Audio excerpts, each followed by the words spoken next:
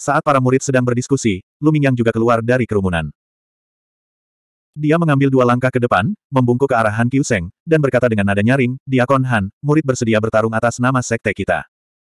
Han Kyuseng sedikit mengangguk dan tidak mengatakan apa pun. Dia mengharapkan ini. Di antara sepuluh murid sekolah Feng Yun, Lu Mingyang adalah yang terkuat. Jika dia tidak bertarung, maka tidak ada orang lain di sekolah Feng Yun. Lu Mingyang melirik Jitiansing di sampingnya dan berkata dengan nada menghina, Jitiansing, hanya aku yang bisa berurusan dengan murid-murid dari Sekte Tianjian. Kamu hanya berada di alam energi sejati. Jangan membodohi dirimu sendiri. Meskipun dia telah dipukuli oleh Jitiansing dalam formasi mendalam ibu dan anak, dia tahu bahwa Lu Mingyang bukanlah orang bodoh. Bahkan jika Jitiansing hanya berada di alam energi sejati, dia bisa mengalahkan Master Alam Tongsuan. Namun, hanya dia dan Jitiansing yang tahu tentang itu. Sekarang, di depan dua diaken dan para murid, dia harus mengambil kesempatan untuk mengejek Jitiansing. Ketika para murid mendengar kata-kata Lu Mingyang, mereka mengangguk setuju. Iya, Lu Mingyang berada di alam Tongsuan. Hanya dia yang memiliki kesempatan untuk mengalahkan para murid dari Sekte Tianjian. Keberanian Jitiansing patut dipuji, tetapi akhirnya akan menyedihkan. Ini masalah yang sangat penting. Jitiansing terlalu ceroboh. Jitiansing mengabaikan diskusi para murid dan memandang Lu Mingyang dengan acuh tak acuh. Senyum lucu muncul di wajahnya. Lu Mingyang, apakah kamu sudah melupakan rasa sakit setelah bekas lukanya sembuh? Ekspresi Lu Mingyang tiba-tiba berubah, dan sudut mulutnya berkedut beberapa kali. Dia penuh amarah dan ingin meledak, tetapi dia menahannya. Jitiansing memandang Han Kyuseng dan berkata dengan serius, Diakon Han, tadi malam, murid telah berhasil menembus ke alam Tongsuan. Han Kyuseng telah berpikir dengan ekspresi bermartabat dan belum membuat kesimpulan. Ketika dia mendengar kata-kata Jitiansing, ekspresinya mereda, dan sentuhan lega muncul di matanya. Sangat bagus. Para murid terkejut, dan mereka berseru tak percaya dan mulai berdiskusi di antara mereka sendiri. Apa, Jitiansing telah mencapai alam Tongsuan? Bagaimana ini mungkin? Dia hanya berada di level kelima dari tahap elemen sejati ketika dia memasuki sekte. Dalam waktu kurang dari dua bulan, dia menerobos dari tingkat kelima tahap energi sejati ke tahap pemahaman mistik. Bukankah ini terlalu sulit dipercaya? Saya tidak percaya ini benar. Bagaimana bisa ada seorang jenius yang bisa berkembang begitu cepat?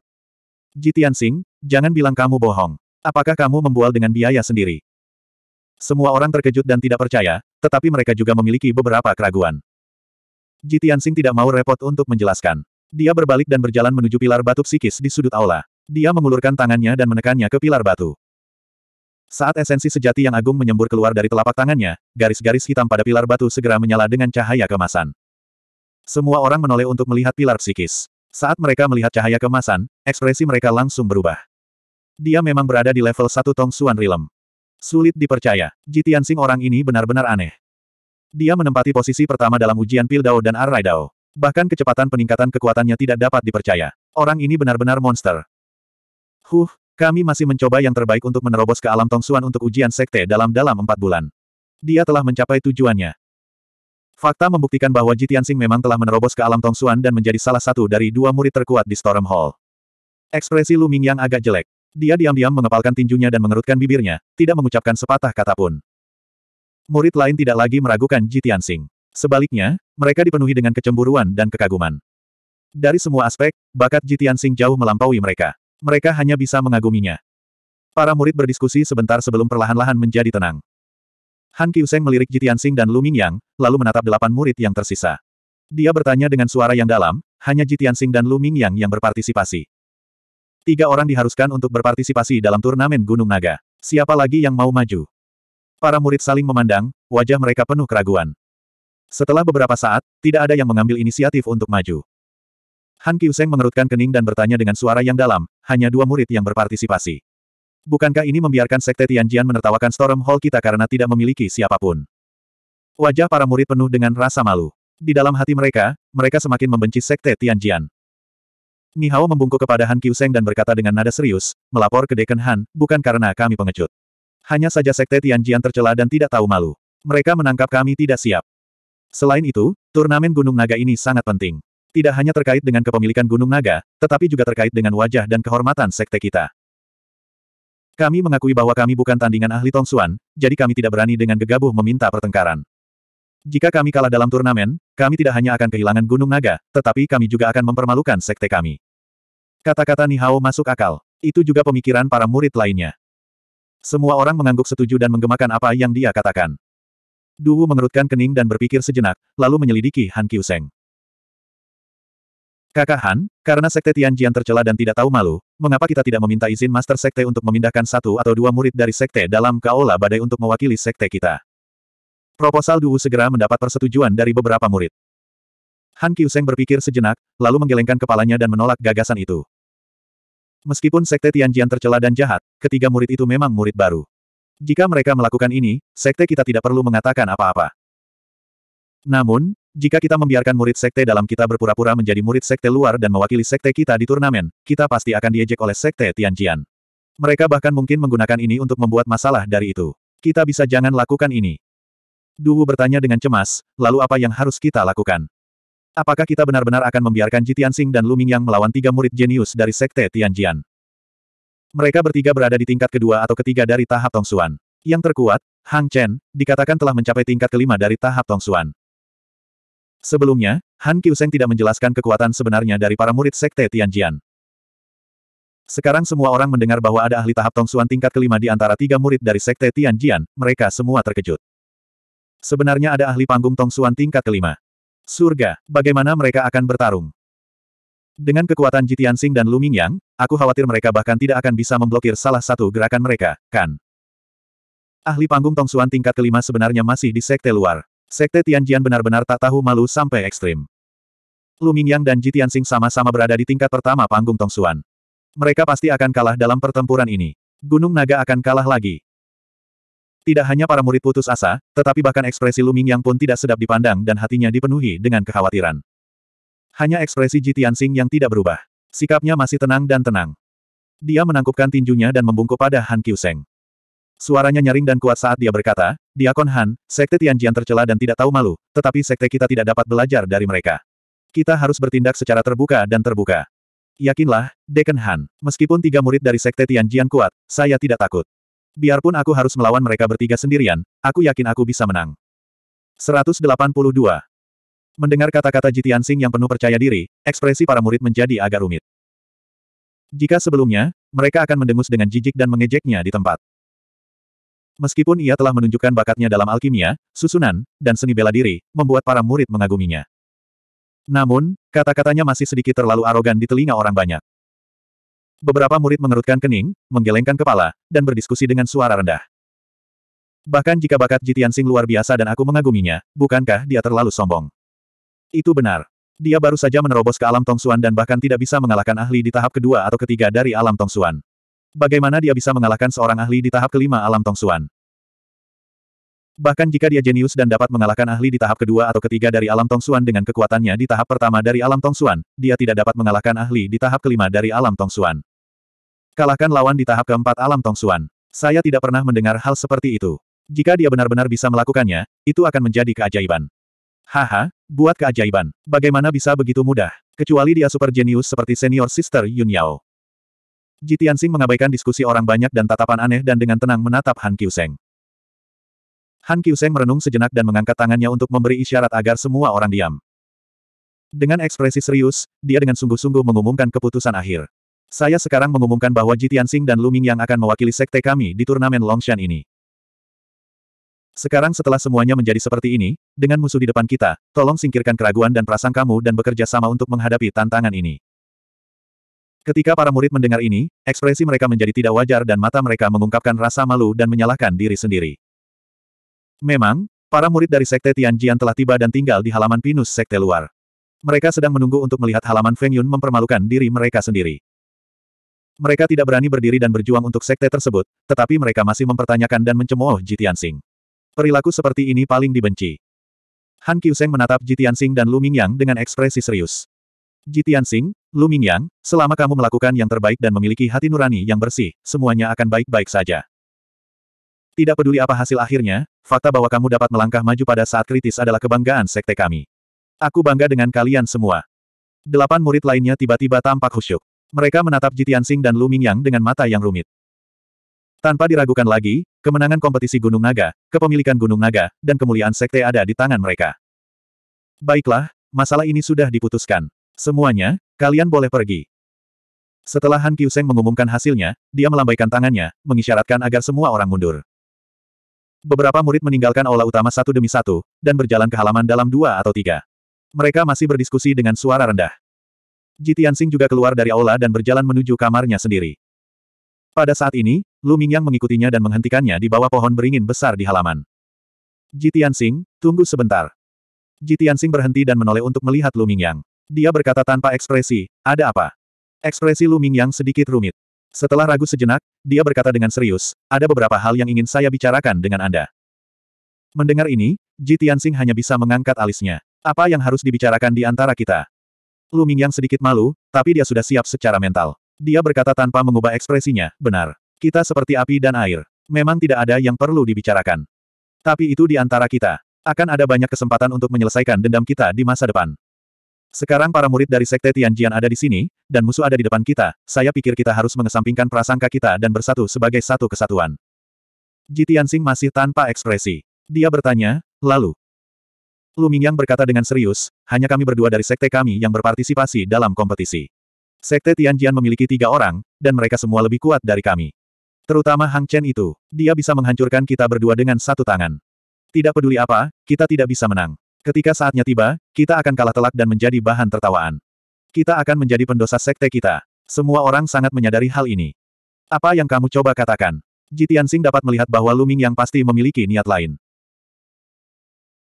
Benar saja, setelah melihat sekeliling dan melihat tidak ada orang di sekitar, Luming yang merendahkan suaranya dan berkata, Jitiansing, jika kamu tidak ingin menjadi bahan tertawaan dan menjadi pendosa yang akan kehilangan kehormatan Gunung Naga dan Sekte, maka Anda sebaiknya mendengarkan saran saya.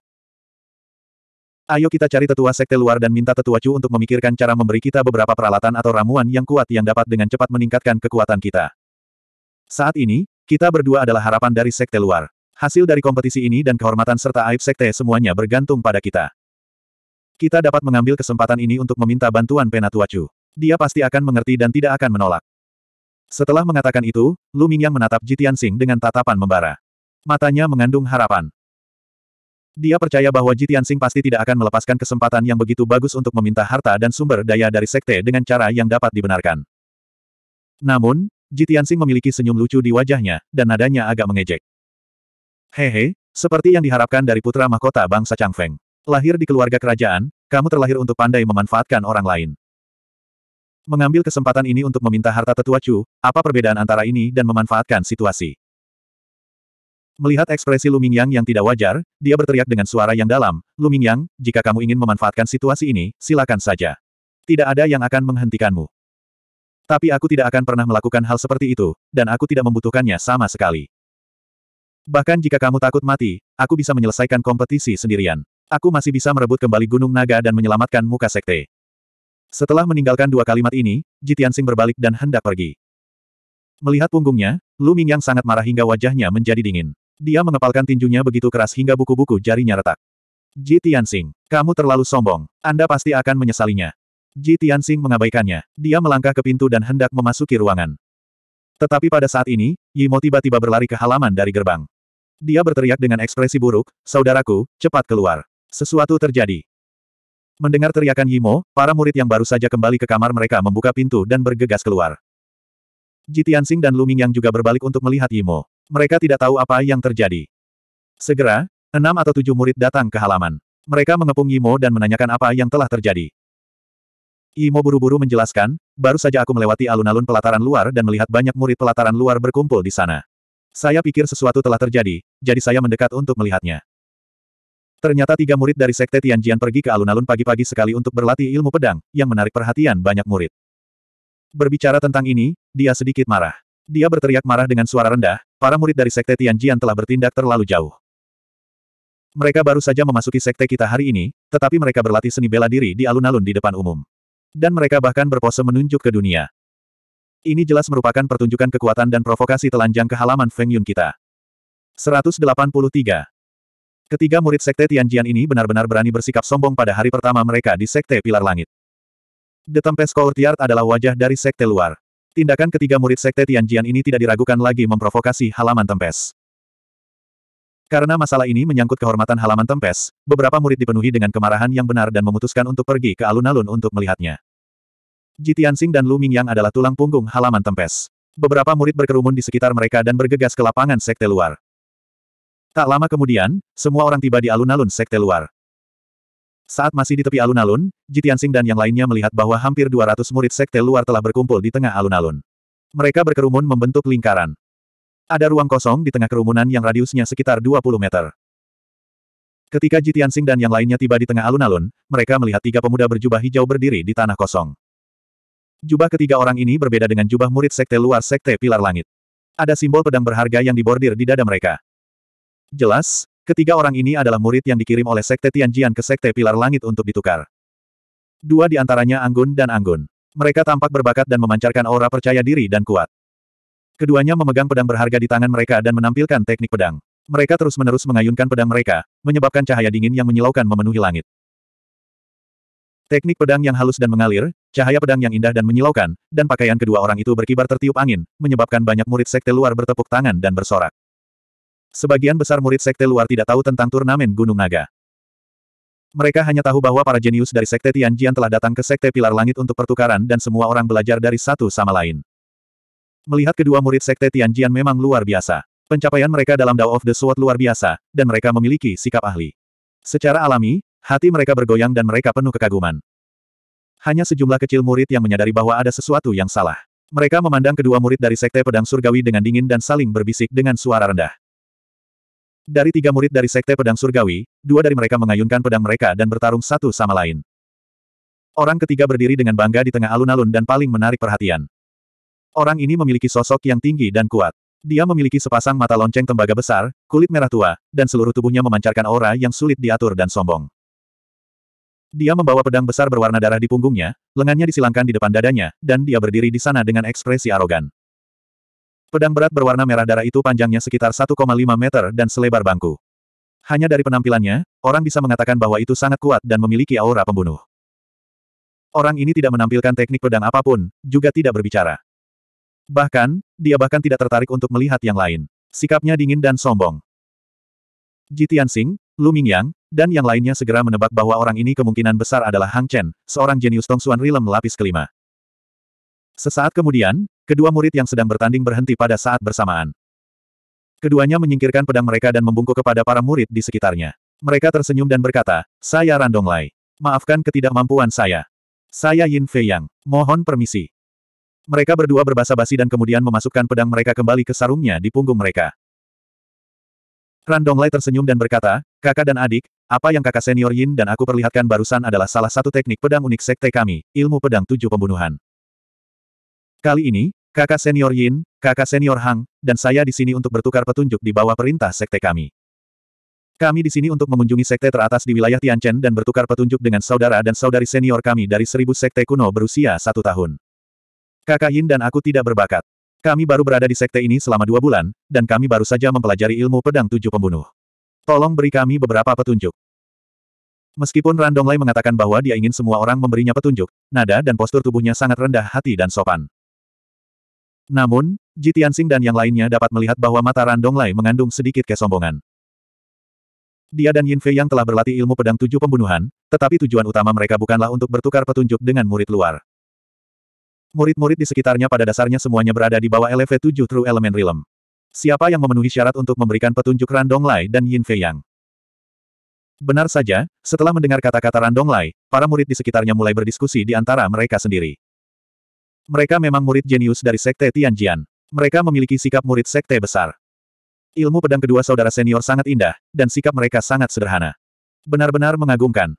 Kakak Ran terlalu sederhana. Pencapaianmu dalam teknik pedang jauh di luar jangkauan kami. Kami tidak sabar untuk mengagumimu.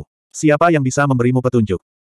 Sebagian besar murid terkesan dengan pesona Randong Lai dan Yin Fei Yang. Mereka merasa bahwa tidak hanya kekuatan mereka yang dalam, ilmu pedang mereka sangat indah, tetapi mereka juga sangat rendah hati dan baik hati. Namun, ada juga beberapa murid yang diam-diam berdiskusi. Kedua murid ini jelas pamer. Yin Fei Yang memandangi kerumunan sambil tersenyum. Setelah menunggu beberapa saat dan melihat bahwa tidak ada yang maju untuk bertukar petunjuk, dia berkata, Saudara dan saudari senior, kami di sini terutama untuk bertukar petunjuk dengan murid sekte Anda dan meningkatkan keharmonisan dan persahabatan antara dua sekte kami. Karena tidak ada yang mau bertukar petunjuk untuk menghindari kerusakan harmoni, mengapa kita tidak berbicara dengan bebas dan bertukar wawasan tentang seni bela diri? Saya beberapa tahun lebih tua dari Anda semua. Jika Anda memiliki pertanyaan tentang kultivasi Anda, mengapa Anda tidak memberi tahu saya? Mungkin saya dapat membantu Anda. Mendengar ini, banyak murid segera mengerti bahwa Yin Fei yang ingin mengarahkan mereka ke arah yang benar. Banyak murid Institut Embun Putih dan Institut Jiang Liu segera membuka mulut untuk mengajukan pertanyaan. Mereka ingin mendapatkan beberapa petunjuk dari Yin Fei Yang. Yin Fei Yang dan Randong Lai juga tidak menolak siapa pun. Mereka menjawab pertanyaan semua orang satu persatu dan mendapatkan rasa terima kasih dari banyak murid. Hanya dalam waktu singkat, mereka berdua menjadi lebih dekat dengan banyak murid dan tampaknya berhubungan baik. Melihat pemandangan ini, murid-murid Institut Awan Angin semua memiliki wajah dingin dan mata mereka melonjak karena marah. Pada saat ini, seorang murid tiba-tiba melihat Jitian Sing dan yang lainnya dan langsung berteriak. Hei, bukankah itu saudara senior dari Wind Cloud Institute? Semuanya, lihat, senior brothers dari Wind Cloud Institute ada di sini. Setelah suara itu menyebar, banyak murid menoleh untuk melihat Jitian Sing dan yang lainnya dengan wajah penuh harapan. Sepuluh murid dari Wind Cloud Institute adalah jenius yang paling luar biasa dari sekte luar sekte Pilar Langit. Banyak murid sekte luar menebak siapa yang akan lebih kuat dalam pertukaran petunjuk antara jenius sekte mereka sendiri dan murid sekte Tianjian. Jitian Sing, Lu Mingyang, dan yang lainnya langsung menjadi pusat perhatian semua orang. Yin Fei Yang dan Randong Lai juga menoleh untuk melihat Jitian Sing dan yang lainnya dan mengungkapkan senyum tipis. Bahkan Hang Chen yang selalu dingin dan sombong melirik Jitian Sing dan yang lainnya dengan acuh tak acuh. Jitian Sing memimpin Lu Mingyang dan yang lainnya melewati kerumunan penonton dan berjalan menuju kelompok tiga orang Hang Chen di tengah alun-alun. Karena mereka telah muncul, mereka harus pergi dan menyapa para murid dari Sekte Tianjian. Mereka tidak bisa melemahkan reputasi Wind Cloud Institute. Jitian Sing berjalan ke tengah alun-alun dan menatap Yin Fei Yang tanpa ekspresi. Dia bertanya, Kakak Yin Fei Yang, saya punya pertanyaan untuk ditanyakan. Jika seseorang mencuri pusat perhatian di depan Anda dan menunjukkan keterampilan kecil mereka di depan seorang ahli, bagaimana tanggapan Anda? 184. Kata-kata Jitian Sing membungkam seluruh alun-alun. Hampir 200 murid sekte luar mengungkapkan ekspresi rumit saat mereka diam-diam menatapnya. Tidak ada yang bodoh. Semua orang tahu bahwa Jitian Sing menyiratkan bahwa Yin Fei Yang dan dua lainnya mencoba mencuri pusat perhatian dan menunjukkan keterampilan kecil mereka di depan seorang ahli. Banyak murid setuju dengan kata-kata Jitian Sing. Mereka merasa bahwa Yin Fei Yang dan dua lainnya terlalu mencolok. Namun ada juga beberapa murid yang bingung dan ragu. Mereka berpikir, mengapa saudara senior dari Tempest Hall begitu marah? Ketiga murid Sekte Tianjian secara alami memahami maksud Ji Tianxing. Ekspresi mereka segera berubah dan senyum mereka menghilang. Yin Fei Yang dengan tenang menatap Ji Tianxing dan menangkupkan tangannya. Bolehkah saya bertanya bagaimana saya harus memanggil Anda, saudara? Ji Tianxing dari Aula Tempest. Yin Fei Yang samar-samar tersenyum. Kata-kata saudara muda Ji terlalu serius. Kami bertiga telah datang di bawah perintah Tuan kami untuk bertukar dan belajar dari murid-murid sekte Anda yang mulia. Kami awalnya ingin mengunjungimu di Tempest Hall dan bertukar wawasan kami tentang martial Dao denganmu. Sayangnya, kalian semua sibuk berkultivasi dan tidak terlihat. Kami tidak ingin mengganggu kalian, jadi kami hanya bisa bertukar petunjuk. Meskipun kata-kata Yin Fei yang bermartabat dan bahkan terdengar sedikit sedih. Tapi Ji Tianxing dan yang lainnya tahu bahwa Yin Fei yang jelas mengejek mereka karena takut bertarung. Pada saat ini, Ran Donglai juga menangkupkan tangannya ke arah Ji Tianxing dan menjelaskan, kakak senior Yin dan aku sama-sama terobsesi dengan dao pedang. Selain bermeditasi dan berkultivasi, kami berlatih teknik pedang kami. Tapi kami tidak menyangka bahwa setelah bertukar beberapa gerakan, kami akan menarik begitu banyak saudara dan saudari junior untuk menonton. Kami tidak ingin menimbulkan kesalahpahaman, tetapi adik-adik junior kami terlalu antusias. Mereka semua meminta kami menampilkan beberapa gerakan lagi. Seperti kata pepatah, tamu mengikuti keinginan tuan rumah. Kami hanya bisa mematuhi dan terus menampilkan teknik pedang tujuh pembunuhan. Huh, kami tidak menyangka akan menyebabkan kesalahpahaman dengan junior Broterji. Kami tidak sopan. Setelah berbicara, Ran Donglai dan Yin Fei yang membungkuk ke arah Jitian Sing dan yang lainnya untuk menyampaikan permintaan maaf mereka. Tapi bagaimana Jitian Sing bisa mempercayai omong kosong mereka? Kalian berdua suka berdebat satu sama lain. Tidak bisakah kamu berdebat di Pine Tree Courtyard? Mengapa mereka harus datang ke Outer Sanctum Square untuk bertanding? Bukankah ini jelas untuk dilihat oleh para murid sekte luar? Namun, Yin Fei Yang dan Randong Lai tidak menonjolkan diri dan melakukan pekerjaan dengan baik di permukaan, sehingga sulit bagi Jitian Sing untuk marah. Banyak dari murid yang menonton masih tidak memahami situasinya dan berpikir bahwa dia membuat keributan besar tentang apa-apa. Bahkan sampai-sampai beberapa orang berdiskusi secara rahasia dan merasa bersalah atas Yin Fei Yang dan Randong Lai. Jitian Sing sedikit mengernyit dan tanpa ekspresi berkata kepada Yin Fei Yang dan dua lainnya, jika kalian berdua suka bertanding, kalian bisa berlatih di Green Pine Courtyard. Meskipun para murid sekte kami lamban, mereka diajar oleh Diaken dari berbagai halaman. Tidak perlu menyusahkan kalian berdua untuk membimbing mereka. Juga, kalian berdua tidak perlu terburu-buru untuk berdebat dengan murid-murid akademi kami. Turnamen Gunung Naga akan diadakan dalam tujuh hari. Saat itu, kita akan bertemu di arena. Bukankah-bukankah itu lebih sederhana dan lebih jelas? Mendengar kata-kata, turnamen Gunung Naga, banyak murid yang terkejut dan tidak mengerti apa yang sedang terjadi. Semua orang segera mulai berdiskusi dengan suara rendah. Beberapa murid yang pernah mendengar tentang turnamen Gunung Naga segera menjelaskannya kepada orang lain. Akibatnya, banyak murid dengan cepat memahami alasan dan arti turnamen Gunung Naga. Pandangan semua orang terhadap Yin Fei Yang dan dua lainnya menjadi aneh. Bahkan para murid yang merasa bersalah atas Yin Fei Yang dan dua lainnya dipenuhi dengan rasa malu dan menyalahkan diri sendiri. Baru sekarang mereka tahu bahwa Yin Fei Yang dan dua lainnya sederhana di permukaan, tetapi pada kenyataannya, mereka mewakili Sekte Tianjian untuk memperjuangkan Gunung Naga melawan Sekte Pilar Langit. Sumber daya yang dihasilkan oleh Gunung Naga seharusnya digunakan oleh para murid Sekte luar untuk berkultivasi. Akibatnya, Yin Fei Yang dan dua lainnya adalah pelaku kejahatan yang mencuri sumber daya mereka. Bagaimana mungkin mereka masih merasa dekat dengan mereka? Dalam waktu singkat, mentalitas hampir 200 murid di alun-alun telah berubah. Banyak orang memiliki musuh yang sama dan memelototi Yin Fei Yang dan dua lainnya dengan marah. Mereka juga memiliki harapan dan dukungan untuk Jitian Sing dan yang lainnya. Yin Fei Yang dan Randong Lai saling memandang. Mereka berdua merasa bahwa Jitian Sing adalah orang yang sulit dihadapi. Mereka berdua tampil tanpa celah, tetapi Jitian Sing telah merobek kepura-puraan mereka, membuat suasana menjadi sangat canggung. Akhirnya, Hang Chen yang pendiam dan sombong melangkah ke depan Yin Fei Yang dan Randong Lai. Di antara ketiga murid tersebut, jelas bahwa Hang Chen adalah pemimpinnya. Yin Fei Yang dan Randong Lai tahu bahwa dia akan berbicara dan segera mundur setengah langkah.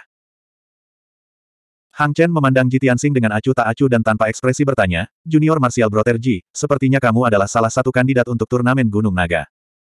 Ekspresi Ji Tianxing tidak berubah saat dia berkata, itu benar. Hang Chen mengangguk dan sudut mulutnya terhubung dengan senyuman lucu. Karena junior martial Broterji sangat tidak masuk akal, maka kami tidak akan mengganggumu selama beberapa hari ke depan. Namun, saya harus mengingatkan junior martial Broterji bahwa Heavy Sword of the Setting Sun saya beratnya lebih dari 900 pound. Itu adalah senjata ilahi yang tidak bisa dihancurkan. Junior martial Broterji, kamu harus memikirkan cara untuk memakai baju sirah yang tak tertandingi sehingga kamu tidak akan terluka oleh Heavy Sword of the Setting Sun selama turnamen Gunung Naga. Saat itu, jika keharmonisan antara kedua sekte rusak karena hal ini, maka saya tidak ingin hal itu terjadi. Selesai berbicara, dia mengulurkan tangan dan menyentuh gagang setting Sun Heavy Sword. Di bawah sinar matahari, bilah tebal dan lebar itu bersinar dengan cahaya merah redup. Ini pasti ancaman Hang Chen. Meskipun nadanya tenang dan kata-katanya tidak membawa sedikit pun kemarahan. Sikapnya yang merendahkan dan matanya yang sombong dan menghina membuat orang-orang di aula awan angin merasakan penghinaan yang kuat. Ekspresi para murid Wind Cloud Hall berubah saat mereka dengan marah memelototi Hang Chen. Ekspresi Jitiansing masih tenang saat dia dengan acuh tak acuh berkata, terima kasih banyak atas pengingat saudara bela diri senior Hang Chen. Aku tidak akan mengantarmu pergi. Mata Hang Chen bersinar dengan senyum dingin saat dia membawa Yin Fei Yang dan Randong Lai pergi. Setelah beberapa saat, mereka bertiga melewati kerumunan dan meninggalkan alun-alun, kembali ke halaman pohon pinus. Orang-orang dari Wind Cloud Hall berdiri di alun-alun dan melihat ke belakang kelompok Hang Chen saat mereka pergi. Wajah mereka dipenuhi dengan kemarahan. Terlalu banyak. Murid-murid dari Sekte Tianjian sebenarnya sangat sombong. Terutama Hang Chen, dia benar-benar berani mengancam murid Sekte kita di depan umum. Dia terlalu sombong. Tidak masuk akal. Murid-murid dari Sekte Tianjian datang ke Sekte kami, tetapi mereka tidak hanya tidak tahu bagaimana menahan diri, mereka bahkan berani berjalan dengan angkuh di jalanan. Aku sangat marah. Huh, Hang Chen adalah seorang ahli di tahap kelima dari tahap pemahaman mendalam. Ketika hari turnamen tiba, Jitiansing mungkin akan mengalami bencana. Jangan katakan kata-kata yang mengecilkan hati seperti itu. Tidak peduli apa, kita tidak bisa melemahkan prestise sekte. Murid-murid dipenuhi dengan kemarahan yang benar, tetapi mereka juga merasa sangat tidak berdaya. Bahkan jika mereka melihat kelompok Hang Chen mondar-mandir, mereka tidak memiliki kekuatan yang cukup untuk mengalahkan kelompok Hang Chen di tempat dan memamerkan prestise sekte tersebut. Jitiansing melirik orang-orang di sekitarnya dan dengan tenang berkata, semuanya, jangan pedulikan. Ayo kita semua kembali. Setelah mengatakan itu, dia akan memimpin kerumunan keluar dari alun-alun. Pada saat ini, banyak murid di alun-alun berteriak keras, Saudara bela diri senior Ji Tianxing, Anda harus mengalahkan orang-orang dari Sekte Tianjian di turnamen Gunung Naga. Senior Martial Brother Ji, kamu harus mengambil kembali Gunung Naga untuk semua orang. 185. Kelompok tiga orang Hang Chen sedang berjalan di jalan setapak dengan deretan pohon kembali ke Pine Courtyard. Hang Chen berjalan di depan dengan Yin Fei Yang dan Randong Lai mengikuti di belakangnya. Ekspresi mereka agak suram. Randonglai mengerutkan kening dan tidak bisa menahan diri untuk tidak mengeluh. Ai, aku sudah mengatakan bahwa kita pasti akan menimbulkan kemarahan orang banyak jika kita dengan berani berlari ke alun-alun untuk berlatih pedang. Aku tidak tahu apa yang dipikirkan Deken Ki. Dia jelas tahu bahwa kita akan menjadi sasaran kritik publik, namun dia tetap ingin kita melakukan ini. Meskipun Yin Fei yang tidak mengerti, dia masih tersenyum dan menasihati, Saudara Mudaran, Tuan Diakon pasti punya alasan untuk menginginkan kita melakukan ini. Jangan mengeluh. Hang Chen juga berkata dengan suara rendah, selama bertahun-tahun yang tak terhitung jumlahnya, sekte kami tidak pernah mengirim seorang murid ke sekte Pilar Langit. Dalam turnamen Gunung Naga tahun ini, Master Sekte mengirim kami ke sekte Pilar Langit untuk bertukar pengetahuan.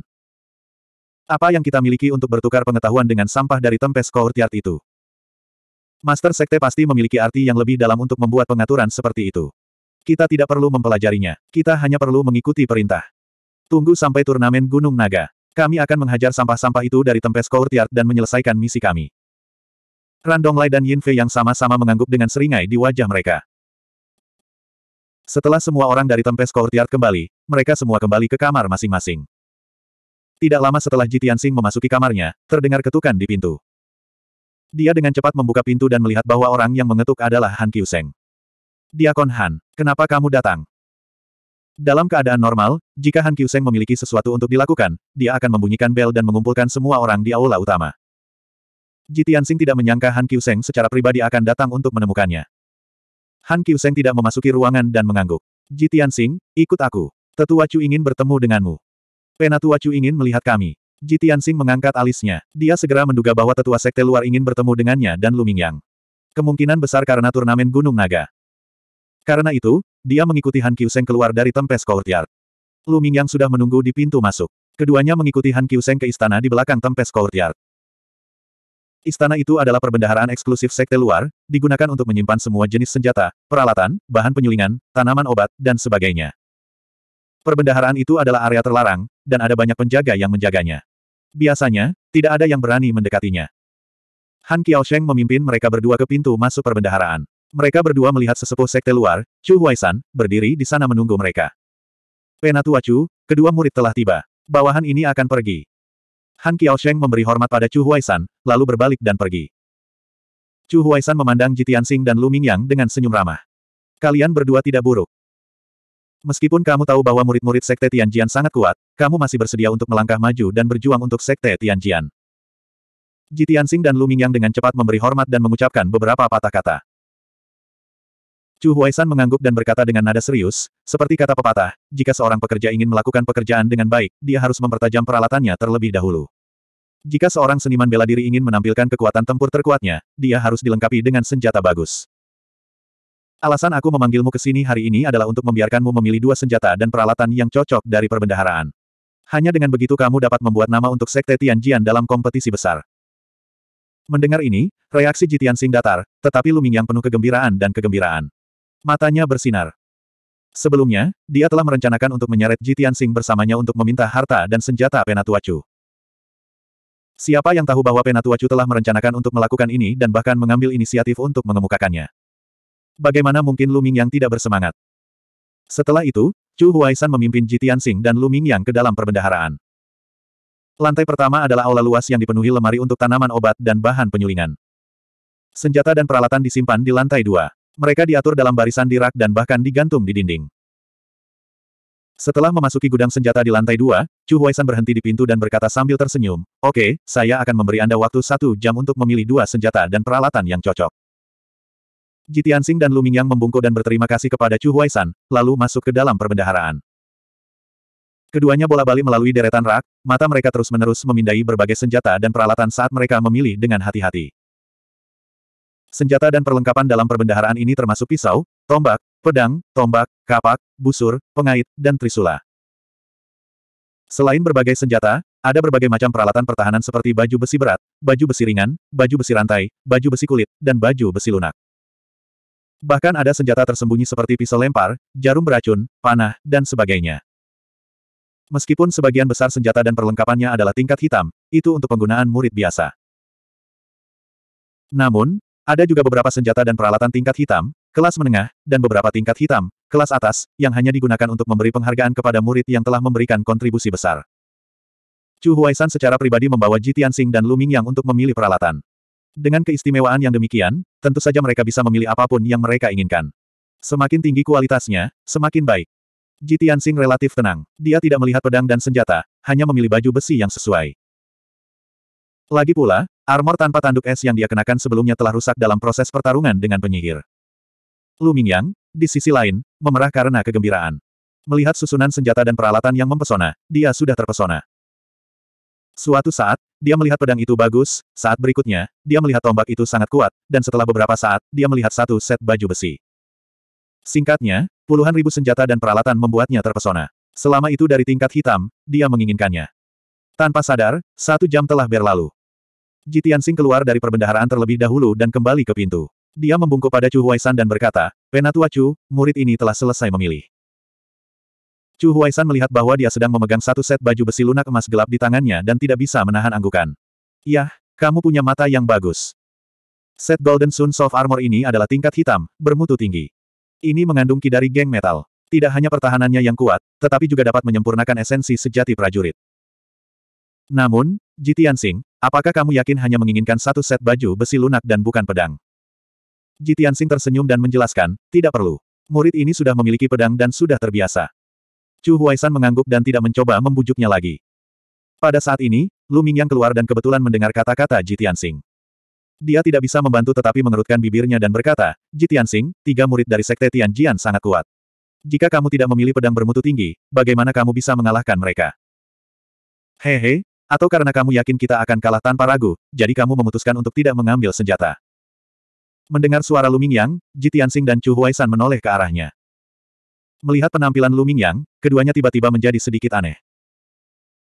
Mereka melihat Lu Mingyang memiliki pedang di punggungnya, busur di pinggangnya, satu set baju besi di tangan kirinya, helm emas di kanannya, dan bahkan sepasang sepatu bot tempur di kakinya. Beberapa peralatan ini, tanpa kecuali, semuanya adalah Black Grade Upper Grade, peralatan terbaik di perbendaharaan. Mulut Chu Huaisan berkedut, dan dia berkata dengan sedih, kamu bocah nakal. Apakah kamu mencoba mengosongkan perbendaharaan? Jitiansing melihat penampilan lucu Lu Mingyang dan tidak bisa menahan tawa. Dia berkata dengan nada mengejek, Lu Mingyang, kamu memilih begitu banyak peralatan. Apakah kamu mencoba membungkus dirimu seperti pangsit? Apakah kamu gugup dan bersalah? Apakah kamu begitu takut sehingga ingin mundur? Lu Mingyang memelototinya dengan marah dan berkata dengan suara rendah, bagaimana saya bisa mundur? Saya secara aktif mempersiapkan perang dan berjuang untuk memenangkan kehormatan bagi sekte tersebut. 186. Meskipun Lu Mingyang mencoba yang terbaik untuk menyembunyikannya, Jitiansing dan Chu Huaisan dapat melihat bahwa dia dipenuhi rasa takut. Justru karena ketakutan dan gentar dia memilih begitu banyak persenjataan mendalam. Dia berharap dia bisa mempersenjatai diri dan melindungi dirinya dalam semua aspek. Pada akhirnya, Lu Mingyang tidak mendapatkan apa yang diinginkannya. Di bawah perintah Chu Huaisan, dia tidak punya pilihan selain mengembalikan senjata tingkat mendalam, hanya menyisakan pedang dan satu set baju besi. Lagi pula, sebelum memasuki perbendaharaan, Chu Huaisan telah mengatakan bahwa mereka dapat memilih dua peralatan. Setelah berjalan keluar dari perbendaharaan, mereka bertiga berdiri di pintu masuk. Chu Huaisan berkata dengan sungguh-sungguh, beberapa hari ini, kamu harus bekerja keras dalam kultivasimu dan melakukan yang terbaik untuk meningkatkan kekuatanmu sebagai persiapan untuk kompetisi besar. Jitiansing dan Lu Mingyang mengangguk untuk menunjukkan bahwa mereka mengerti. Kemudian mereka mengucapkan selamat tinggal pada Chu Huaisan dan meninggalkan perbendaharaan. Dalam perjalanan kembali ke halaman badai, Jitiansing berjalan di depan, dan Lu Mingyang mengikuti di belakangnya dengan tidak tergesa-gesa. Melihat punggung Jitiansing, mata Lu Mingyang bersinar dengan seringai. Dia diam-diam merencanakan di dalam hatinya. Huh, sialan Jitiansing, aku akan membiarkanmu menjadi sombong selama beberapa hari. Setelah kompetisi besar, Anda akan menangis. Meskipun aku tidak bisa mengalahkan Hang Chen dan Yin Fei Yang, aku akan mencapai LV2 dari alam Tongsuan. Seharusnya tidak masalah bagiku untuk mengalahkan Randong Lai yang paling lemah. Saat kompetisi besar dimulai, aku akan mengalahkan Randong Lai terlebih dahulu dan menang. Saya akan menyerahkan Yin Fei Yang dan Hang Chen kepada Anda. Anda pasti akan kalah. Dengan cara ini, bahkan jika sekte kita kalah dan kehilangan Gunung Naga, aku akan menjadi pahlawan kemenangan kita, dan kamu akan menjadi pendosa dari persaingan besar. Lu Mingyang telah memutuskan untuk menggunakan kompetisi besar ini untuk menjadi terkenal dan menjadikan Jitian Sing pendosa dari sekte luar. Dia akan terlalu malu untuk menghadapi siapa pun di masa depan. Setelah kembali ke halaman badai, Lu Mingyang memasuki ruang rahasia dan tidak sabar untuk berkultivasi dalam pengasingan, berusaha mencapai LV2 dari alam Tongsuan. Jitiansing tidak membuang waktu dan memasuki ruang rahasia untuk berkultivasi. Di ruang rahasia Pine Courtyard, Hang Chen berdiri di sudut dengan tangan bersilang. Ekspresinya acuh tak acuh, seolah-olah dia diam-diam menunggu sesuatu. Yin Fei Yang dan Randong Lai berkerumun bersama, berdiskusi dengan suara rendah. Pada saat ini, pintu ke ruang rahasia terbuka, dan seorang pria parubaya kurus dengan janggut masuk. Melihat orang ini, Yin Fei Yang dan Randong Lai menghentikan diskusi mereka dan buru-buru membungkuk hormat. Diakon Qi, kamu telah kembali. Salam, Diakon Qi. Hanya Hang Chen yang tidak membungkuk. Dia memandang Diakon Qi dan bertanya, Diakon Qi, Anda meminta kami untuk menunggu di ruang rahasia. Apakah ada sesuatu yang penting? Diakon Qi, yang mengenakan jubah hitam, memiliki temperamen yang suram. Matanya yang panjang dan sipit bersinar dengan cahaya yang tajam. Dia mengangguk pada Hang Chen dan berkata dengan suara rendah, Raja ini telah memanggil kalian semua ke sini untuk masalah penting. Kalian semua telah melakukannya dengan baik hari ini. Kalian telah berhasil menarik perhatian para murid sekte luar. Dalam beberapa hari ke depan, kalian bertiga masih harus menarik perhatian para murid pelataran luar. Tentu saja, setelah kejadian hari ini, para murid sekte pilar langit tampaknya agak muak denganmu. Karena itu, anda harus mengubah lokasi dan menggunakan metode berbeda untuk menarik perhatian mereka. Untuk spesifiknya, kamu tidak perlu raja ini untuk memberimu petunjuk, kan? Yin Fei Yang dan Randong Lai agak bermasalah. Mereka ragu-ragu dan tidak berbicara. Hanya Hang Chen yang mengangguk. Kami mengerti. Namun, apa gunanya melakukan ini? Tolong hilangkan keraguan kami, Diakon Qi. Deken Qi membelai janggutnya dan menunjukkan senyum yang tak terduga. Sekte itu secara alami mengatur agar kita datang ke Sekte Pilar Langit untuk alasan yang mendalam. Itu juga untuk tujuan sekte yang berusia ribuan tahun. Adapun misimu, itu adalah untuk menarik perhatian para murid pelataran luar sehingga mereka tidak punya waktu untuk memperhatikan raja ini. Ini akan memudahkan raja ini untuk bertindak. Mendengar ini, Yin Fei Yang mengungkapkan ekspresi bingung dan bertanya dengan penuh harap, berani saya bertanya kepada Deken Qi, setelah kami memasuki Sekte Pilar Langit, Anda tidak muncul sepanjang hari. Saya ingin tahu apakah Anda. Deken Qi jelas tidak akan mengungkapkan tindakan dan tujuan spesifik. Dia hanya tersenyum dan berkata, Hehe, kami datang ke Sekte Pilar Langit untuk bertukar pengetahuan. Raja ini telah datang ke Sekte kuno berusia ribuan tahun dan mengagumi prestisenya. Tentu saja, saya harus berjalan di sekitar Sekte dan mengagumi pemandangan dan urat roh Sekte Pilar Langit. Namun, jangan terlalu banyak bertanya tentang masalah ini. Tidak ada gunanya mengetahuinya. Raja ini akan melakukan yang terbaik untuk menyelesaikan misi yang diberikan oleh ketua sekte. Kamu juga harus melakukan yang terbaik untuk menyelesaikan misimu. Hang Chen mengangguk dan tidak mengatakan apa-apa. Matanya mengungkapkan ekspresi bijaksana. Yin Fei Yang dan Randong Lai tidak mengerti. Mata mereka masih bingung, tetapi mereka tidak berani bertanya. Setelah hening sejenak, Diakon Ki melanjutkan, sekarang kita berada di Sekte Pilar Langit, kamu harus berhati-hati. Cobalah untuk tidak memiliki konflik dengan murid Sekte Pilar Langit. Bahkan jika kamu harus bertahan sebentar, selama kamu bisa memenangkan turnamen dan mempertahankan Gunung Naga untuk Sekte, itu akan menjadi kontribusi yang besar. Tidak peduli apa, kamu harus memenangkan turnamen Gunung Naga ini. Mendengar nadanya yang serius dan tegas, Randong Lai mau tidak mau bertanya, Diakon Qi, apakah Dragon Mountain benar-benar penting? Bahkan jika ada kebun ramuan roh di Gunung Naga dan urat biji di bawah, ada banyak harta serupa di alam kuno bintang. Mengapa sekte begitu bertekad untuk menang? Deken Qi meliriknya, lalu menatap Yin Fei Yang dan Hang Chen. Melihat mereka bertiga bingung, dia harus menjelaskan, dengarkan baik-baik. Raja ini bisa memberitahumu, tapi ini rahasia sekte. Kamu tidak bisa membocorkannya. Dalam tiga tahun sekte menduduki Gunung Naga, kami telah mengembangkan dan menggali Gunung Naga secara ekstrim. Kami telah menyita hampir 80% sumber daya di Gunung Naga. Dua bulan lalu, sesepuh tamu sekte kami, Huang Fu, menemukan aura formasi asal surga di bagian terdalam Gunung Naga. Setelah penjelajahan tamu Huang Fu dan pemimpinnya, mereka akhirnya menemukan Heaven's Origin Array dari seribu tahun yang lalu di bagian terdalam Gunung Naga. Dalam formasi asal surga itu, ada makam kuno yang misterius. Itu sangat megah dan megah. Makam kuno itu sangat megah, dan dilindungi oleh formasi asal surga. Itu pasti makam seorang ahli dari seribu tahun yang lalu. Pasti ada harta langka di dalamnya, dan bahkan mungkin ada warisan seni bela diri dari seorang ahli. Jika sekte ingin tumbuh dan mendominasi wilayah Tianchen, kita tidak hanya membutuhkan sumber daya kultivasi yang tak ada habisnya, tetapi kita juga perlu menemukan semua jenis warisan seni bela diri yang kuat dan teknik rahasia. Oleh karena itu, Master Sekte bertekad untuk memenangkan makam kuno itu. Mendengar ini, Hang Chen, Yin Fei Yang, dan Yin Fei Yang terkejut, dan mata mereka dipenuhi antisipasi. Diakon Qi berkata dengan nada serius, sayangnya, formasi pelindung makam kuno itu terlalu dalam. Bahkan dengan bakat Huang Fu, dia tidak dapat memecahkannya dalam dua bulan. Kamu tidak bisa kalah dalam turnamen, dan sekte tidak bisa mengembalikan Gunung Naga ke sekte Bantalan Langit. Kalau tidak, makam kuno seorang ahli itu akan menjadi milik sekte Bantalan Langit. Apakah kamu mengerti? 187 setelah mendengarkan penjelasan Deken Qi, Hang Chen dan yang lainnya mengerti bahwa Dragon Mountain sangat penting. Tidak heran Master Sekte begitu bertekad untuk mendapatkan Gunung Naga. Yin Fei Yang dan Randong Lai dapat membayangkan bahwa selama mereka memenangkan kompetisi ini dan melindungi Gunung Naga untuk sekte tersebut, mereka pasti akan dihargai dan dihargai oleh Master Sekte. Di masa depan, status mereka di sekte akan lebih tinggi dan mereka akan menerima perlakuan terbaik. Mereka bahkan mungkin seperti Hang Chen, menerima pelatihan ekstra dari Master Sekte dan diasuh sebagai jenius elit. Dekan Ki menambahkan, sekarang dua bulan telah berlalu, Master Sekte dan Penatua Tamu Huang Fu masih belum mampu memecahkan arai esensi surga. Arai pelindung makam kuno itu terlalu indah. Tapi Sekte Pilar Langit lebih kuat, memiliki fondasi yang lebih dalam, dan lebih mahir dalam formasi susunan. Selain itu, ada dua ahli esensi surga di Sekte tersebut. Jika Sekte Pilar Langit memperoleh Gunung Naga, mereka pasti akan dapat memecahkan susunan dalam waktu tiga tahun. Pada saat itu, mereka akan mendapatkan harta dan warisan seni bela diri di makam kuno dan akan menjadi lebih kuat. Berbicara tentang ini, Deacon Ki memandang ketiganya dengan ekspresi serius dan berkata, Sekarang, apakah Anda mengerti betapa pentingnya misi Anda?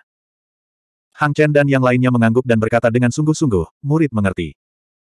Deacon Ki sedikit mengangguk dan mengungkapkan ekspresi puas. Baiklah, masalah ini berakhir di sini.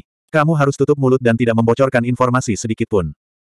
Hang Chen dan Yin Fei yang buru-buru mengangguk dan dengan sungguh-sungguh menyatakan bahwa mereka akan merahasiakan ini.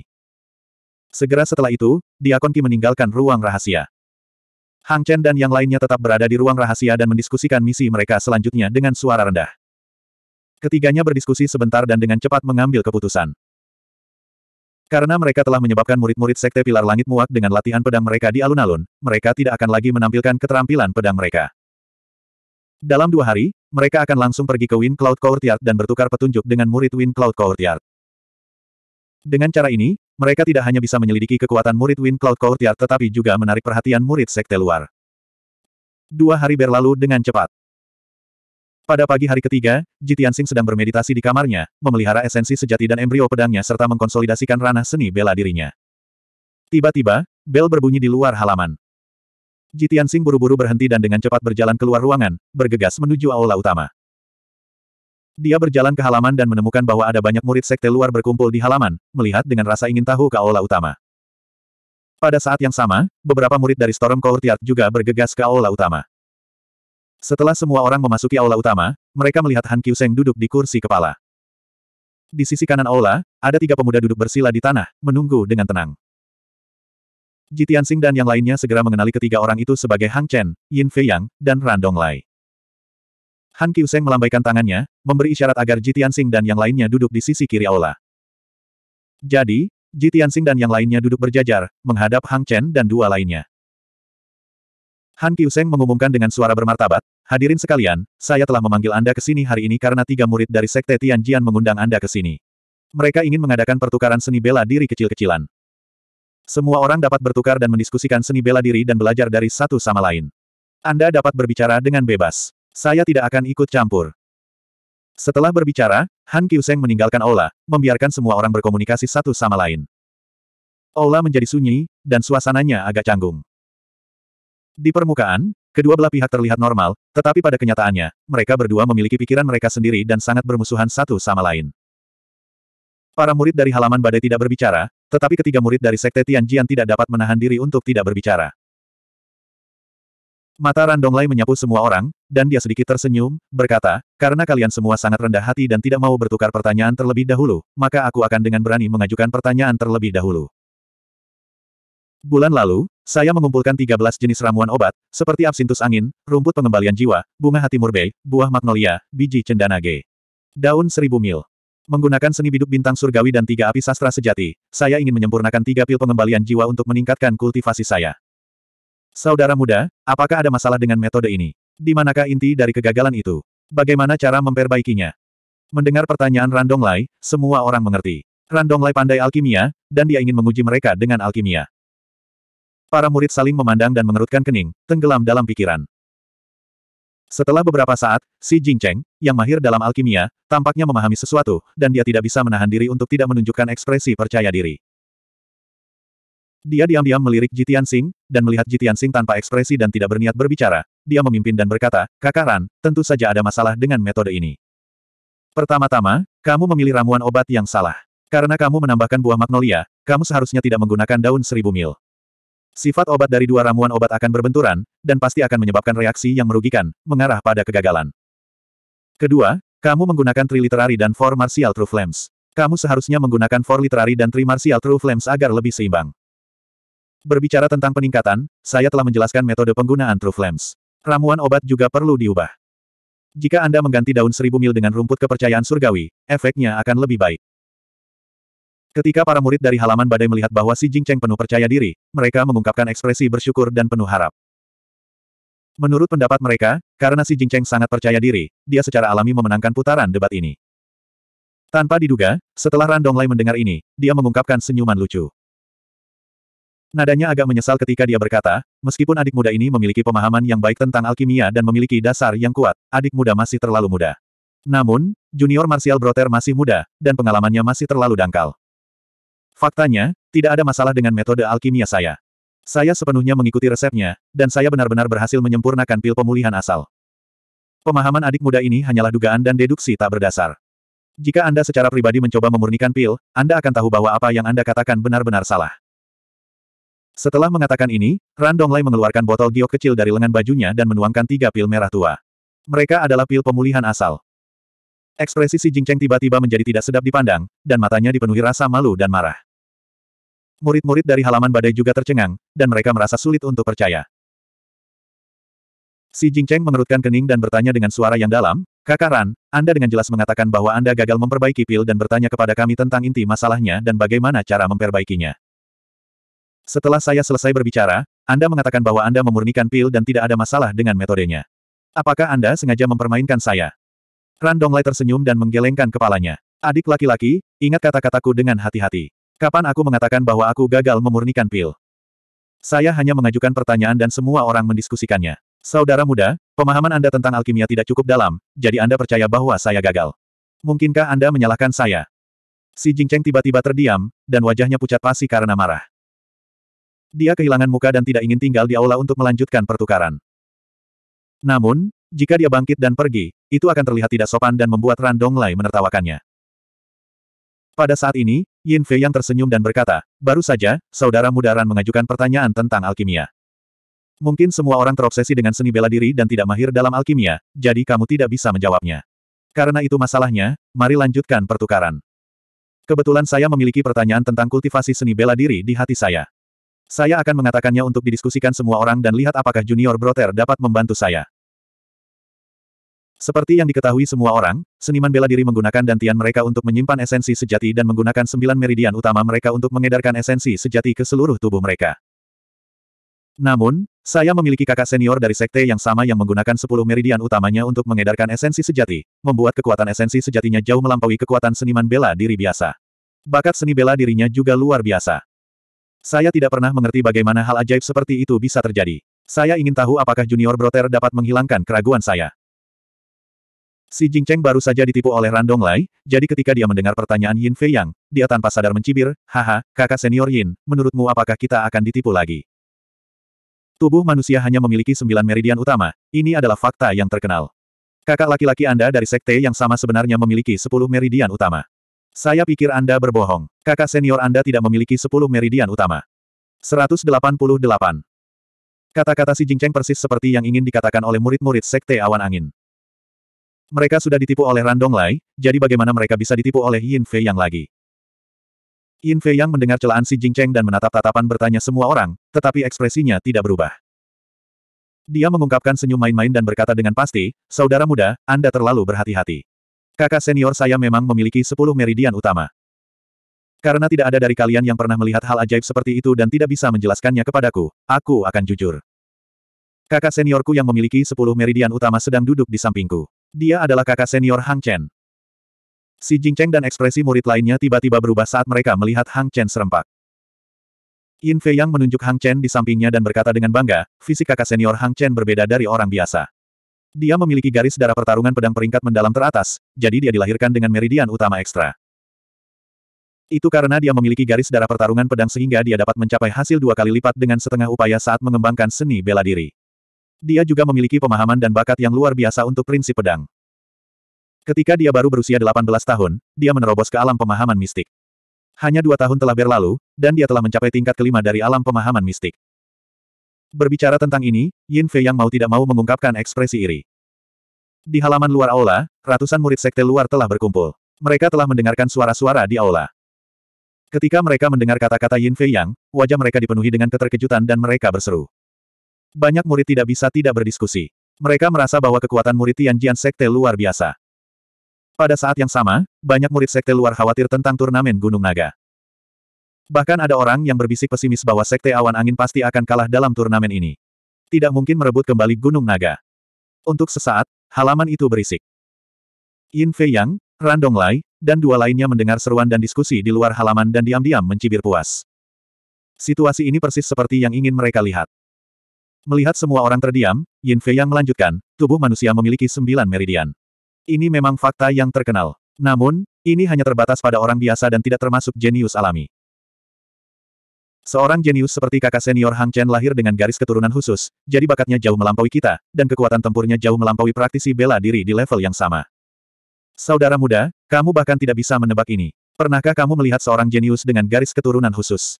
Atau mungkin, hampir tidak ada jenius seperti itu di antara murid-murid pelataran luar dari sektemu yang terhormat. Begitu kata-kata ini diucapkan, ekspresi para murid di Tempest Hall segera berubah. Mata mereka dipenuhi dengan rasa malu dan kemarahan. Yin Fei yang terlalu sombong. Dia jelas-jelas mengejek para murid Tempest Hall karena berpandangan pendek dan mengejek Sekte Pilar Langit karena tidak memiliki siapa pun di Sekte luar.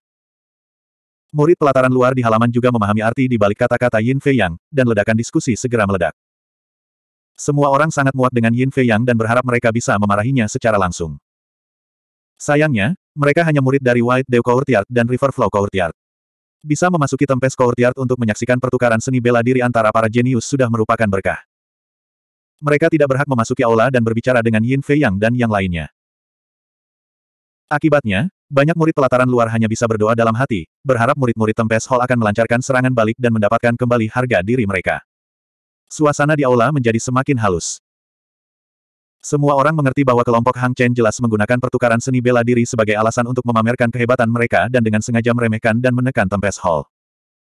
Namun, ini adalah pertukaran seni bela diri, jadi mereka bisa berbicara dengan bebas. Selain itu, Ran Donglai dan Yin Fei yang tidak melontarkan omong kosong untuk memfitnah Tempest Hall. Itu karena mereka berpandangan pendek dan tidak bisa membantah pihak lain, memberi mereka kesempatan untuk mengolok-olok mereka. Beberapa murid dipenuhi dengan rasa malu dan marah. Mereka diam-diam mengepalkan tangan mereka dan dengan paksa menekan amarah mereka. Pada saat ini, Jitiansing yang diam selama ini akhirnya angkat bicara. Dia dengan tenang menatap Yin Fei Yang dan bertanya dengan suara yang dalam, Kakak Yin baru saja mengatakan bahwa tubuh manusia menyimpan esensi sejati di dantian dan mengedarkan esensi sejati di sembilan meridian utama. Ini adalah sesuatu yang diketahui semua orang. Kalau begitu saya ingin bertanya kepada kakak senior Yin, jika dantian seseorang lumpuh, apakah mereka tidak dapat berkultivasi dan hanya bisa menjadi lumpuh? Yin Fei Yang dan Ran Donglai terkejut. Mereka menatapnya dengan ekspresi aneh dan sudut mulut mereka membentuk senyuman. Haha, aku tidak mengira kakak Ji akan mengajukan pertanyaan seperti itu. Jika dantian lumpuh, bahkan tidak akan ada tempat untuk menyimpan esensi sejati. Bagaimana seseorang bisa berkultivasi? Ini adalah kebenaran yang bahkan diketahui oleh seorang anak berusia tiga tahun. Apakah ada kebutuhan untuk bertanya? Jelas bahwa Yin Fei Yang dan Randong Lai sama-sama merasa bahwa Jitian Sing mengajukan pertanyaan bodoh seperti itu benar-benar menggelikan. Setelah mendengar pertanyaan Jitian Sing, ratusan murid pelataran luar di halaman segera menjadi gempar. Banyak orang mengungkapkan ekspresi jijik. Bahkan ada beberapa orang yang tertawa dan menggelengkan kepala. Semakin banyak orang yang mendiskusikan apakah otak Jitian Sing telah dibanjiri air. Apakah orang ini berpikir bahwa Tempest Hall belum cukup kehilangan muka? Mengajukan pertanyaan bodoh seperti itu, apakah dia tidak merasakan sakitnya ditampar? Di aula utama, beberapa murid Tempest Hall tampak seperti orang tua mereka telah meninggal. Wajah mereka suram. Awalnya, ketika mereka melihat Jitian Sing mengajukan pertanyaan seperti itu, mereka mengira dia punya rencana cemerlang untuk mendapatkan kembali wajah Tempest Hall. Tetapi ketika mereka mendengar pertanyaan Jitian Sing, mereka tidak tahu harus tertawa atau menangis. Wajah mereka menjadi lebih jelek. Meskipun mereka tidak mempertanyakan atau mengejek Jitian Sing di depan wajahnya, mereka diam-diam menghela nafas dan merasakan ketidakberdayaan yang mendalam. Ai, kupikir Jitian Sing akan membuat langkah besar dan dengan kejam menamparkan wajah Yin Fei Yang. Apakah Jitian Sing bercanda? Saya pikir dia akan mundur. Ini adalah pertanyaan yang bahkan orang idiot pun tahu. Dia benar-benar menanyakannya, apakah dia benar-benar ingin Tempest Hall kita menjadi bahan tertawaan. Ada begitu banyak murid sekte luar di halaman. Jika mereka mendengar kata-kata Jitian Sing, bukankah mereka akan tertawa terbahak-bahak? Melihat reaksi para murid sekte luar itu, mereka mungkin berpikir bahwa Tempest Hall kita idiot, kan?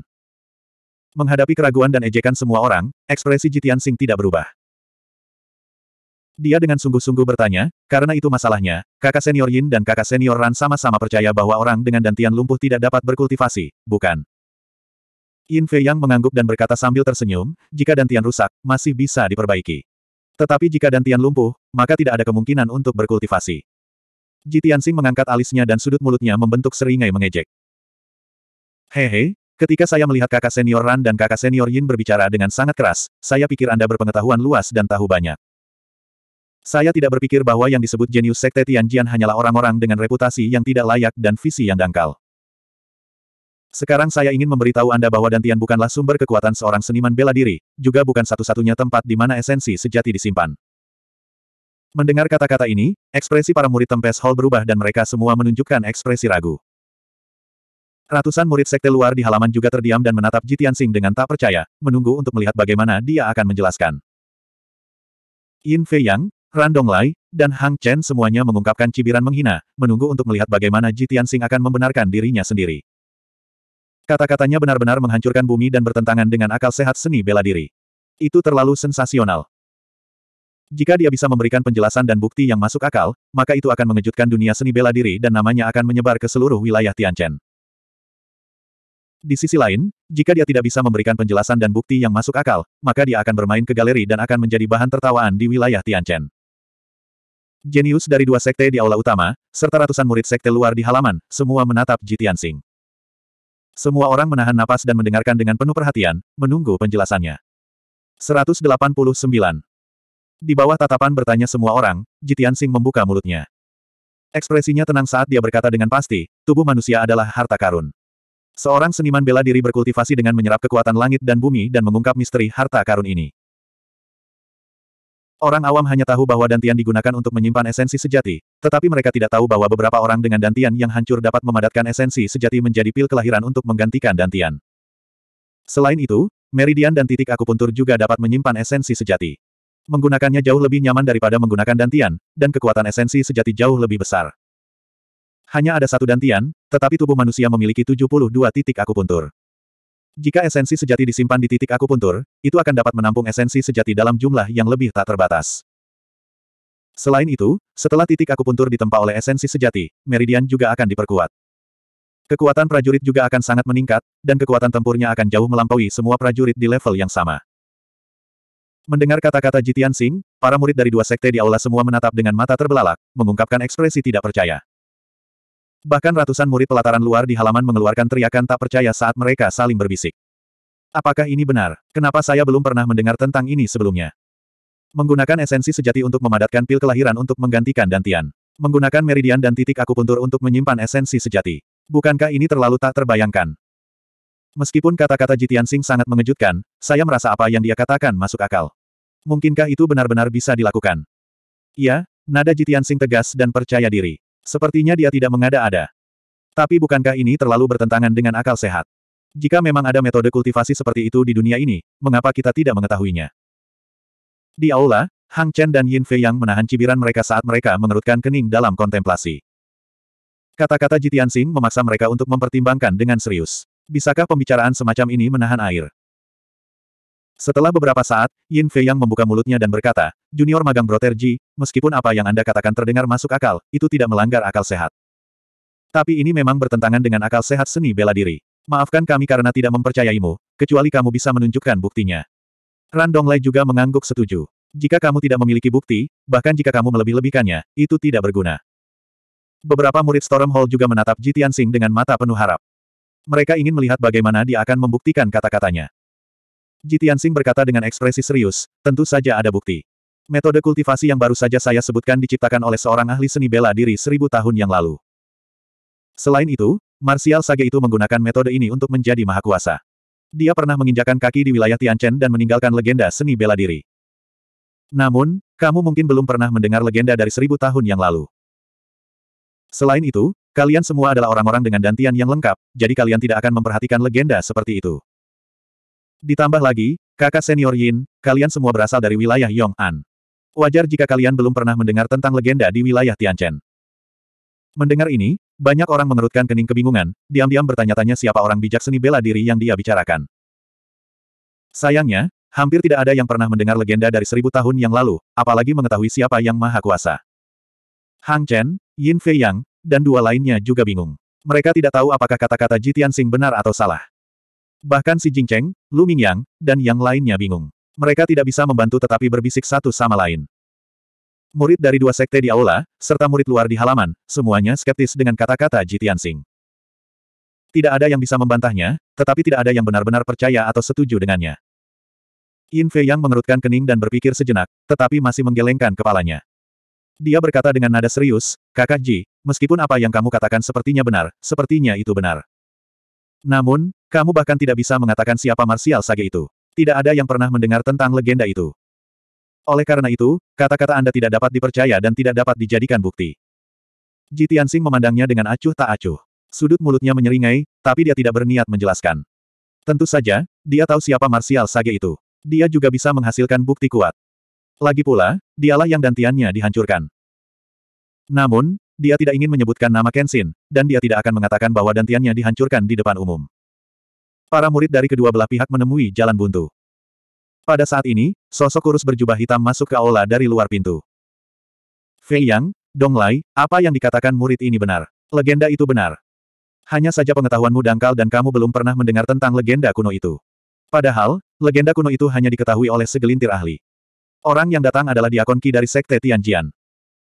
Ketika Hang Chen, Yin Fei Yang, dan dua lainnya melihatnya memasuki aula, mereka segera berdiri dan memberi hormat. Diakon Qi memandang Ji Tianxing dengan mata bersinar dan memuji dari lubuk hatinya, baru saja, ketika saya mendengar debat murid ini, itu benar-benar luar biasa dan membuat hati seseorang melonjak. Di usia yang begitu muda, kamu memiliki pengetahuan yang begitu luas. Kamu tidak hanya mengetahui legenda kuno dari seribu tahun yang lalu, tetapi kamu juga dapat mengatakan sesuatu yang mengejutkan dunia persilatan. Kamu benar-benar luar biasa. Dalam pertukaran seni bela diri ini, Sekte Tianjian kami mengakui kekalahan. Pengetahuan dan pengalaman murid kami memang tidak sebaik kejeniusan Sekte Anda. Deken Ki mengangguk sedikit ke Ji Tianxing dan menunjukkan senyum yang menyemangati. Dia berkata dengan serius, dengan pengetahuan dan bakatmu yang luar biasa, kamu pasti akan berada di puncak daftar bintang di masa depan. Dia kemudian memandang Hang Chen dan dua lainnya dan berkata dengan wajah berwibawa, pertukaran seni bela diri ini berakhir di sini. Saya harap Anda dapat memperluas wawasan Anda dan mendapatkan sesuatu. Hang Chen, Fei Yang, ayo pergi. Setelah itu, Diakon Qi memimpin Hang Chen dan dua lainnya keluar dari aula dan keluar dari halaman Feng Yun. Banyak murid luar di halaman masih sok dan belum pulih. Bahkan para murid dari halaman Feng Yun di aula masih memikirkan kata-kata Diakon Qi dengan ekspresi terkejut di wajah mereka. Tidak ada yang mengira pertukaran seni bela diri akan berakhir seperti ini. Awalnya, tiga murid dari Sekte Tianjian telah menyombongkan diri dan menekan murid-murid dari halaman Feng Yun sampai-sampai mereka tidak dapat mengangkat kepala mereka dan mempermalukan diri mereka sendiri berkali-kali. Namun pada akhirnya, Jitiansing mengucapkan pidato seni bela diri yang mengejutkan. Tidak hanya mengejutkan Hang Chen dan dua lainnya, tetapi juga membuat Diakon Qi dari Sekte Tianjian penuh kekaguman dan pujian. Ini menyebabkan banyak murid dipenuhi dengan keheranan, dan pandangan mereka ke arah Ji Tianxing menjadi sangat rumit. Banyak murid yang penuh dengan kekaguman, kecemburuan, dan keingintahuan terhadap Ji Tianxing. Setelah sekian lama, ratusan murid luar di halaman bubar. Ketika mereka meninggalkan halaman Feng Yun, mereka masih mendiskusikan apa yang baru saja terjadi dalam kelompok tiga atau lima orang. Ketika halaman Feng Yun menjadi tenang, beberapa murid dari halaman Feng Yun menjadi tenang dan bertanya kepada Ji Tianxing, Ji Tianxing, bagaimana Anda tahu tentang legenda dan metode kultivasi itu? Kakak Ji, apakah kamu mendapat saran dari seorang ahli? Ji Tianxing melihat ekspresi bingung semua orang dan tidak bisa menahan senyum. Dia dengan tenang berkata, saya melihatnya di buku-buku sejarah kuno. Jika Anda tidak melakukan apa-apa, Anda harus membaca lebih banyak buku. Ini bagus untuk Anda. 190. Manajer Ki dengan cepat meninggalkan Tempest Courtyard bersama Hang Chen dan yang lainnya. Setelah kembali ke Azure Pine Courtyard, semua orang memasuki ruang rahasia. Jelas, mereka memiliki sesuatu untuk didiskusikan. Baru saja, manajer Ki telah mengakui kekalahan Ji Tianxing di depan semua orang di Tempest Courtyard. Ini membuat Hang Chen dan yang lainnya agak tidak yakin. Begitu mereka memasuki ruang rahasia, Yin Fei yang bertanya, Tuan Manajer, Anda baru saja mengakui kekalahan. Apakah Anda takut kami akan menjadi pusat perhatian dan menekan Tempest Courtyard, membuat marah Sekte Pilar Langit? Manajer Ki menggelengkan kepalanya dan berkata dengan ekspresi muram, aku tidak sengaja mengakui kekalahan. Bocah Jitiansing itu memiliki pengalaman dan pengetahuan yang luar biasa. Dia benar-benar tidak sederhana. Yin Fei yang sedikit mengernyit dan terdiam beberapa saat sebelum mengangguk setuju. Tuan manajer benar. Saya telah diam-diam mengamati dan menyelidiki. Jitian Sing harus menjadi yang paling menonjol di antara 10 murid dari Tempest Courtyard. Dalam turnamen Gunung Naga dalam beberapa hari, dia akan mewakili Sekte Pilar Langit. Manajer Ki sedikit mengangguk dan berkata dengan nada dingin, tampaknya Jitian Sing harus sangat diasuh oleh Sekte Pilar Langit. Di masa depan, dia kemungkinan besar akan menjadi jenius elit dari Sekte Pilar Langit. Dalam turnamen Gunung Naga ini, kalian bertiga akan terus mengawasinya. Jika ada kesempatan untuk melumpuhkannya, itu akan lebih baik. Kalau tidak, ketika dia tumbuh menjadi pembangkit tenaga listrik di masa depan, dia akan menjadi batu sandungan bagi sekte kita. Hang Chen menyeringai dan mengungkapkan senyum dingin. Hehe, aku sudah memiliki niat ini. Karena tuan manajer telah memberikan perintah, maka aku bisa tenang. Pada saat ini, Ran Donglai bertanya lagi, Manajer Ki, hanya ada tiga hari tersisa sampai turnamen Gunung Naga. Kita sudah membahas dan mengetahui detail halaman tempes. Bukankah kita harus kembali? Manajer Ki melambaikan tangannya dan berkata dengan suara yang dalam, tidak perlu terburu-buru. Kami akan kembali saat batas waktu tujuh hari sudah habis. Misiku belum selesai. Aku masih harus bergegas dan menyelidikinya. Dalam beberapa hari terakhir, saya telah berjalan melalui sembilan puncak sekte pilar langit dan memiliki pemahaman awal tentang Vena sembilan roh naga. Hehe, tidak heran sekte pilar langit dapat berdiri di puncak wilayah Tianchen dan makmur selama ribuan tahun. Leluhur pendiri dari Sekte Pilar Langit menggunakan sembilan gunung untuk membentuk formasi besar, membentuk Vena sembilan roh naga. Tidak hanya mengumpulkan roki dari setengah alam bintang kuno, tetapi juga mengumpulkan keberuntungan tanpa batas untuk Sekte Pilar Langit. Dengan keberuntungan dan sumber daya yang tak terhitung jumlahnya, bagaimana mungkin Sekte Pilar Langit tidak kuat dan makmur?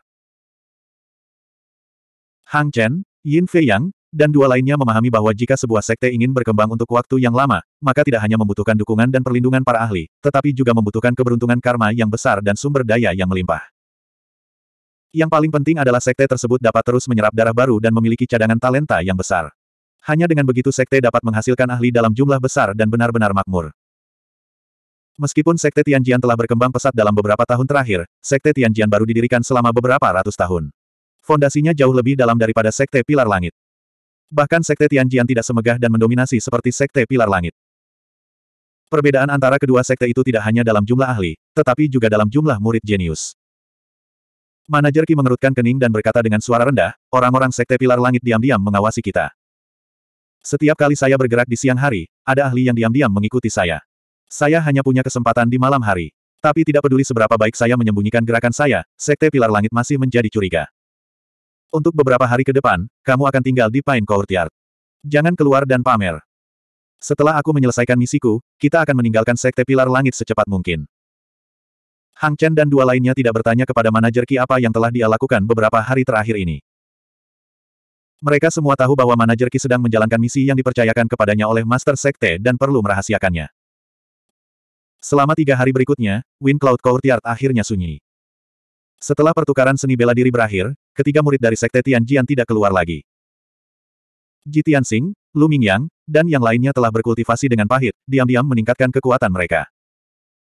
Di sisi lain, White Dew Courtyard dan Riverflow Courtyard masih ramai dengan kebisingan dan kegembiraan. Berita tentang pertukaran seni bela diri menyebar ke seluruh dua halaman, menyebabkan murid yang tak terhitung jumlahnya berebut satu sama lain untuk membahasnya. Kata-kata mengejutkan Jitian Sing memperluas cakrawala seribu lebih murid pelataran luar, dan mereka semua terkejut karenanya. Untuk sementara waktu, Jitian Sing telah menjadi sosok berpengaruh di sekte luar. Dapat dikatakan bahwa semua orang tahu tentang dia. Banyak murid yang ingin tahu tentang dia dan bertanya tentang perbuatannya. Akibatnya, Jitian Sing dihukum menyapu lantai beberapa hari setelah memasuki sekte. Dia juga telah dijebak dan dikurung selama setengah bulan. Berita ini dengan cepat menyebar ke seluruh sekte luar. Tentu saja, soal dia mendapatkan tempat pertama dalam ujian alkimia dan formasi juga menyebar. Pengalamannya begitu rumit, aneh, dan bergejolak. Secara alami, itu menarik banyak diskusi. Ini menyebabkan murid-murid luar menjadi lebih tertarik padanya, seorang jenius yang telah mengalami banyak kemalangan, tetapi dipenuhi dengan bakat. Segera, berita itu menyebar ke seluruh sekte luar dan bahkan para murid sekte dalam mengetahuinya. Tidak banyak murid sekte dalam, hanya sekitar seratus, tetapi mereka semua adalah ahli ranah pemahaman mendalam. Biasanya, murid sekte dalam tidak terlalu memperhatikan masalah sekte luar. Namun, ini adalah pertama kalinya seorang murid sekte Tianjian datang ke sekte Pilar Langit untuk pertukaran, sehingga menarik perhatian para murid sekte dalam. Selama tiga hari berturut-turut, banyak murid sekte dalam juga mendiskusikan Ji Tianxing. Yang paling banyak didiskusikan semua orang adalah kata-kata yang dia ucapkan di depan umum. Beberapa murid bahkan memiliki pendapat mereka sendiri. Untuk berdebat tentang masalah ini, mereka bahkan pergi ke Diaken dan Penatua untuk memverifikasi kebenaran. Singkatnya, Jitiansing telah menjadi topik hangat di Sekte Pilar Langit. Tiga hari berlalu dengan cepat. Malam itu, bel pertemuan berbunyi di Wind Cloud Courtyard. Jitiansing mengakhiri kultivasinya dan bergegas ke aula utama. Segera, sepuluh murid semuanya hadir. Han Kyuseng berjalan ke aula utama dan mengumumkan dengan ekspresi serius, semuanya, hari ini adalah hari terakhir bulan ini. Besok, turnamen Gunung Naga akan dimulai. Semuanya, tolong buat persiapan kalian malam ini. Besok pagi, aku akan membawa semua orang ke Gunung Naga untuk menyemangati sekte kita. Kedelapan murid yang tidak perlu berpartisipasi dalam turnamen juga menunjukkan ekspresi antisipasi. Han Kyuseng memandang Jitiansing dan Lu Mingyang dan bertanya dengan suara yang dalam, kalian telah berkultivasi dalam pengasingan selama beberapa hari ini. Turnamen akan dimulai besok. Bagaimana persiapan kalian? Jitiansing telah berkultivasi dalam pengasingan selama beberapa hari terakhir. Dia telah memahami tingkat keempat dari jalan jantung pedang dan merenungkan tentang menyempurnakan titik akupunturnya. Dia baru saja mencapai tingkat pertama dari alam pemahaman mendalam, jadi akan sulit baginya untuk meningkatkan kekuatannya dalam waktu singkat. Dia mengangguk dengan tenang dan berkata, murid sudah siap. Tolong jangan khawatir, Diakon Han. Han Kyuseng menatap Lu Mingyang. Lu Mingyang segera mengungkapkan senyum percaya diri. Diakon Han, murid telah mencapai puncak tingkat pertama dari alam pemahaman mendalam. Sejak saya memutuskan untuk berpartisipasi dalam turnamen Gunung Naga, saya merasakan lebih banyak tekanan dan tidak berani mengendur.